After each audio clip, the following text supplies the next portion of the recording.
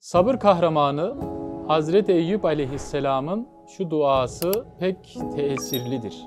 Rabbim bana gerçekten zarar dokundu. Sen ise merhametlilerin en merhametlisisin. Hazreti Eyüp aleyhisselam pek çok yara bere içinde epey müddet kaldığı halde o hastalığın azim mükafatını düşünerek büyük bir sabırla tahammül edip kalmış.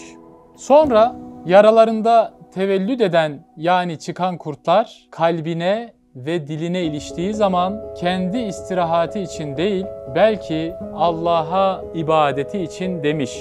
Ya Rab zarar bana dokundu. Dilimin zikrine, kalbimin ibadetine zarar veriyor. Cenab-ı Hak o halis ve safi, yalnız Allah için duasını gayet harika bir surette kabul etmiş.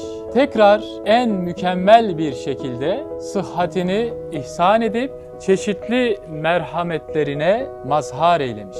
İşte bu kıssadan alacağımız bir hisse şudur ki Hazreti Eyüp Aleyhisselam'ın görünen yaralarına mukabil bizim de manevi yani ruhi ve kalbi hastalıklarımız vardır. İç dışa, dış içe bir çevrilsek Hazreti Eyüp'ten daha ziyade yaralı ve hastalıklı görüneceğiz. Çünkü işlediğimiz her bir günah, kafamıza giren her bir şüphe kalp ve ruhumuza yaralar açar. Hazreti Eyüp Aleyhisselam'ın yaraları kısacık dünya hayatını tehdit ediyordu. Bizim manevi yaralarımız ise pek uzun olan ebedi hayatımızı tehdit ediyor. Eyüp Aleyhisselam'ın bu duasına o Hazretten bin defa daha ziyade muhtacız. Hususan nasıl ki o Hazretin yaralarından çıkan kurtlar kalp ve diline ilişmişler. Öyle de bizleri günahlardan gelen yaralar ve yaralardan hasıl olan vesveseler